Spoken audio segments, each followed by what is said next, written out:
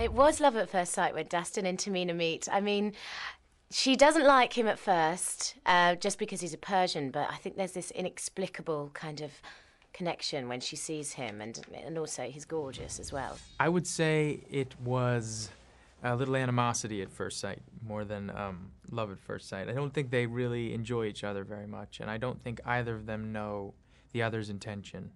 Um, it's a little bit of um, they definitely butt heads, and I think uh, ultimately they realize that that butting heads is maybe love.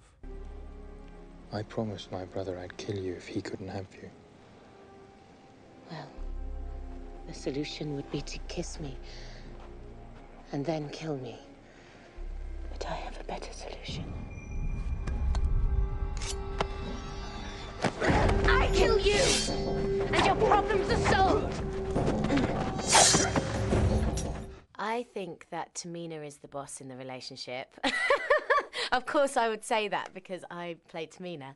Um, she's definitely uh, she gives him a run for his money. You know, she's she doesn't give him an easy easy ride, and. Um, and uh, and sometimes he doesn't even know what to say when he's around her. It's quite it's quite great actually. You know, this little princess um, and this big old prince. He can't he can't uh, keep his keep his words together when he's around her. It's, so I think she wears the trousers. It's an equally balanced relationship. It it switches back and forth as to who has the dagger. You know, um, but I would say uh, back and forth. It goes back and forth.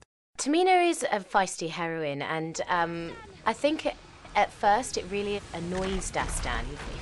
It's really frustrating, and she deliberately does it as well to, to annoy him to get what she wants.